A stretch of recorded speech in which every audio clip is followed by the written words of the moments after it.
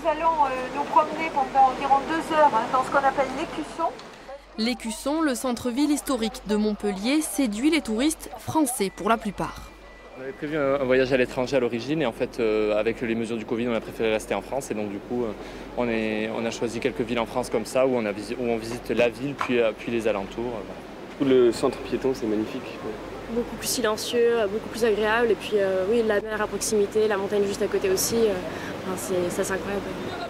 Chaque été, la métropole montpelliéraine augmente de 40% sa population, un chiffre égal cette année malgré le contexte. Une bonne nouvelle pour l'Office de tourisme qui ne s'attendait pas à autant de visiteurs. Actuellement, on accueille euh, entre 1800 et 2000 euh, euh, visiteurs par jour, ce qui est énorme.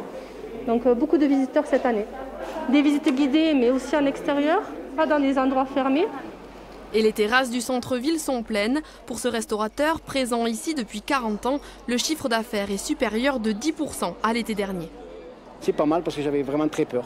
Parce que quand on a redémarré au mois de juin, ben j'ai dit on va à la catastrophe. Et puis finalement, on s'en sort.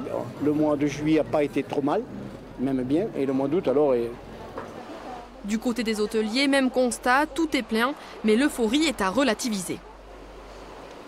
Il faut prendre aussi en compte le fait que quelques hôtels euh, sont euh, fermés pour le moment. Vous avez des gros porteurs aux alentours de 200 chambres qui n'ont pas réouvert par crainte de la saison, puisque justement, cette saison étant au remplissage de dernière minute, n'ont pas pris l'initiative de réintégrer leur personnel et de se remettre à travailler avant le mois de septembre.